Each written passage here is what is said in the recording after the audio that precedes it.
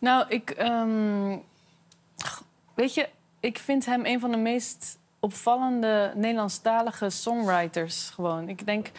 eh, ik, ik heb met name heel veel Engelstalige muziek geluisterd, denk ik. Eh, er zijn ook absoluut heel veel Nederlandstalige dingen gemaakt die ik goed vind. Eh, maar in principe luister ik heel veel naar Engelstalige muziek. Maar hij springt er zo binnen dat Nederlandstalige tussenuit, vind ik. Hij, hij is totaal niet te vergelijken, vind ik, met andere artiesten eigenlijk. En Hij heeft een enorm eh, kleurrijke schrijfstijl.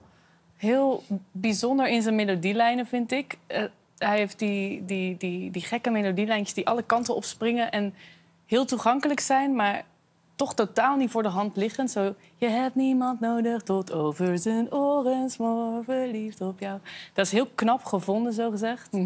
En toch is het net alsof het altijd al bestaan heeft. Ja. En dat, we- ik, ik snap ook heel goed dat dat nog steeds iedereen aanspreekt. Wij, wij